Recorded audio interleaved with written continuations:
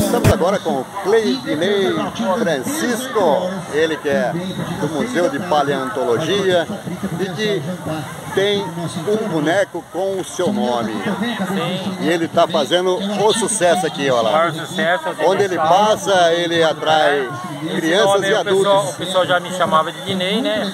E então resolveu colocar o nome de Dineisauro, né? Dineisauro em homenagem a esses 36 anos de caçador de dinossauro. Então nada mais justo do que eu virar um dinossauro, já que caçava esses dinossauros, né? Então hoje, Dineisauro.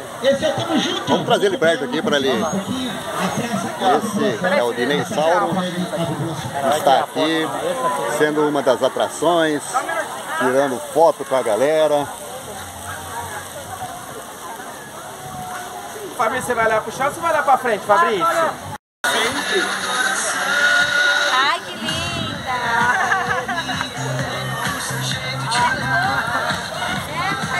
É. É isso aí, momento maravilhoso, o Dinossauro.